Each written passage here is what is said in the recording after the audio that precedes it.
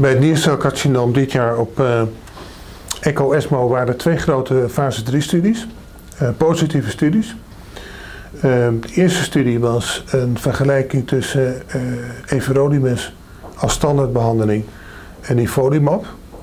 dat is een, een anti-PDE-remmer, dus een checkpoint-remmer, die zo langzamerhand bij bijna alle cellulen tumoren al werkzaamheid laat zien.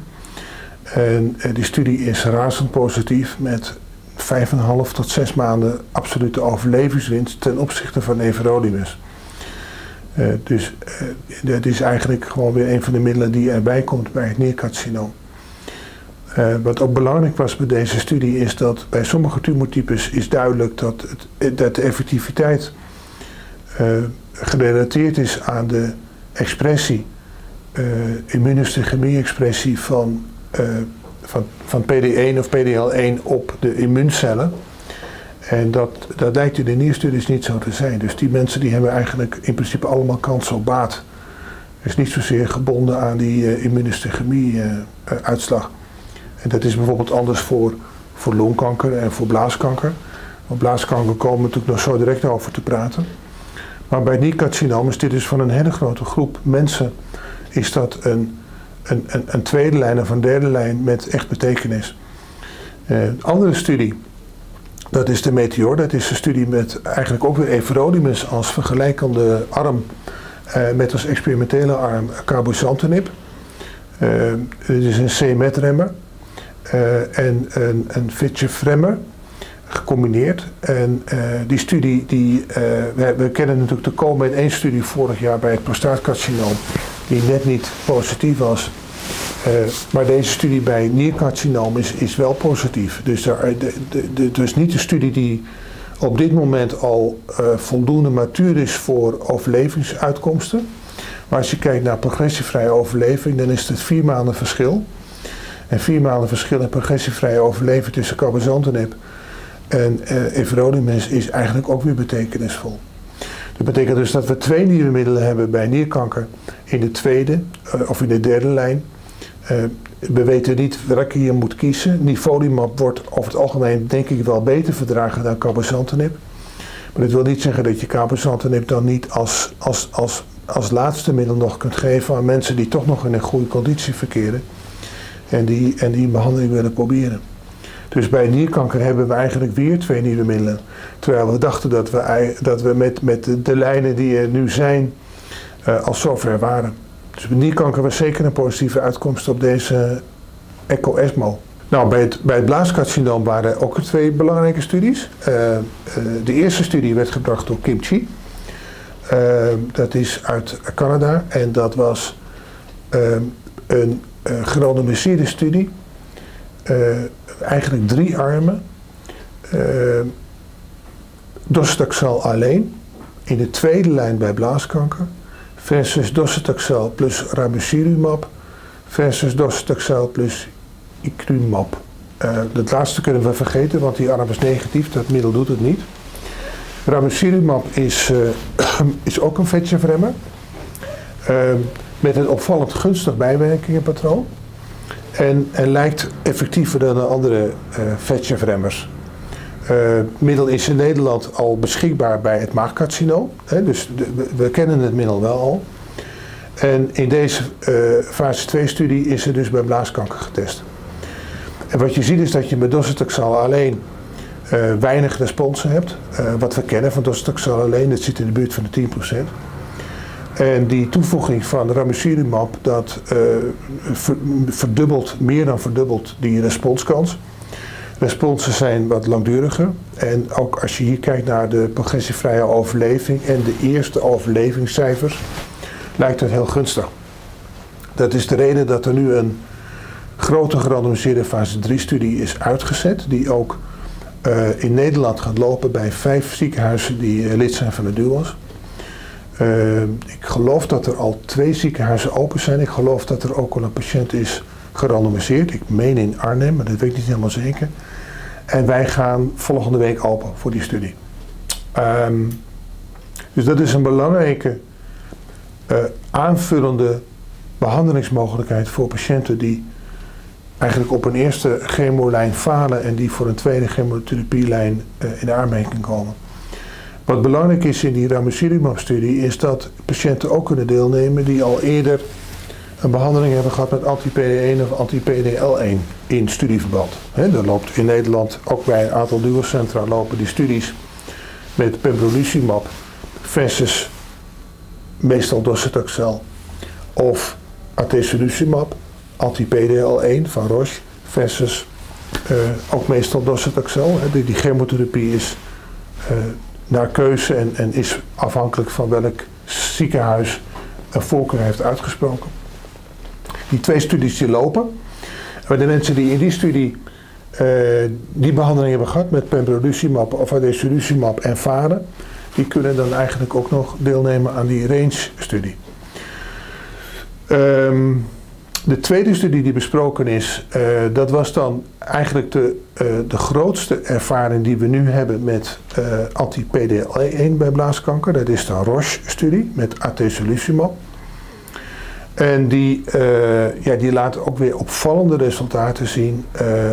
27% kans op respons, dus dat is bijna drie keer zoveel als wat we kennen van de chemotherapie. Behoorlijk langdurige responsen, tot wel een jaar aan toe. Uh, initiële overlevingscijfers die ook heel gunstig lijken, tegen een jaar of langer. Uh, en ook responsen bij patiënten met uh, uitzaaiingen in de organen. Ik, ik, heb zelf ook, ik was deskussend van die sessie.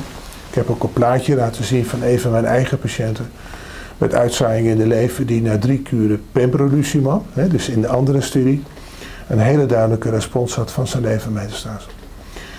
Um, die atezolizumab-studie die laat, omdat er dus een wat groter aantal patiënten zijn, laat nu wel duidelijk zien dat de benefit, hè, dus de grootste kans op een respons, is bij blaaskanker dus wel gekoppeld aan die immunohistochemie-expressie van uh, anti-PD-L1 of anti-PD1. Is dat er niet op de immuuncellen, dan is de kans op een respons, dus kans op benefit, klein. Misschien wel heel klein. En, en, de firma heeft dus ook nogal wat onderzoek gedaan om te kijken of die immunohistochemie uh, op de immuuncellen, of je die, die, die, die capture rate, hè, dus je, voorspellende mogelijkheden kunt vergroten door ook te kijken naar de immunohistochemie op de, op de tumorcellen. Maar dat lijkt bij blaaskanker de, de voorspellende waarde niet te vergroten. Op dit moment is het zo dat uh, beide studies, dus de, de pembrolizumab-studie van Merck en de atezolizumab-studie van Roche, die laten nog uh, alle patiënten toe, hè, dus de all-comers, zoals, zoals ze dat noemen. En er wordt dus retrospectief gekeken naar de betekenis van die immunohistochemie-expressie en er wordt ook gekeken naar, nou ja, nogmaals, naar die gecombineerde uitslag. Er wordt ook gekeken naar uh, genetische profielen van, de, uh, van T-celfunctie. Dat, dat kan natuurlijk ook een belangrijke aanvullende informatie geven op wat zo'n patiënt mag verwachten van een dergelijke behandeling. Maar op dit moment zijn alle tweede studies nog open voor alle patiënten die voor de tweede lijnsbehandeling in aanmerking komen. En dat translationele onderzoek, dat wordt verricht, maar er zijn nog geen uitsluitcriteria voor deelname. Ja, dat is op het gebied van blaascarcinoom. En op het gebied van de prostaatkanker uh, ja, waren er eigenlijk maar twee echt relevante uh, presentaties. Uh, de eerste presentatie was van Nick James, die bracht een update van de Stampede-studie. Eh, de Stampede-studie is natuurlijk ook bij de ESCO al gebracht. Is een studie waarbij verschillende onderzoeksarmen naast elkaar worden vergeleken bij prostaatkanker. En uh, de belangrijkste onderzoeksarmen die op dit moment voldoende uh, matuur zijn, dat is de onderzoeksarm waarbij naast de androgeen deprivatietherapie bij patiënten die zich presenteren met prostaatkanker zes kuren docetaxel worden toegevoegd. En er is een onderzoeksarm waarbij gekeken wordt naar de betekenis van solodoninezuur, het, het oude someter. Nou, wat betreft die solodoninezuur kunnen we kort zijn, dat voegt niet toe. Uh, niet aan progressievrije overleving en ook niet aan overleving. Maar die toevoeging van docetaxel aan die androgeen deprivatietherapie, die is net als een jaar geleden die Charted-studie heel duidelijk positief. Die Charted-studie was 17 maanden bij patiënten met uh, nieuw gediagnosticeerde prostaatkanker die voldeden aan het criterium hoog volume ziekte, hè, tenminste vier botmetastase. In die stabiele studie is, is eigenlijk gewoon een hele groep patiënten met uitgezaaide ziekte genomen. Uitgezaaid volgens criteria. Dus dat kunnen botmetastasen zijn, dat kan een levermetastase zijn, maar dat kunnen ook uitgebreide lymfkliermetastasen zijn, buiten het bekken, hè, dus uitgezaaide lymfklieren. Um, en, uh, en, en die, en die uh, stabiele studie laat 22 maanden overlevingswinst zien uh, bij patiënten met die uitgezaaide ziekte. Nou, dat wisten we al van de ESCO-presentatie. Um, maar de, Nick James heeft nu wat meer uitgesplitst gekeken naar de verschillende subgroepen. En ik denk dat één hele belangrijke bevinding was, dat is dat de patiënten die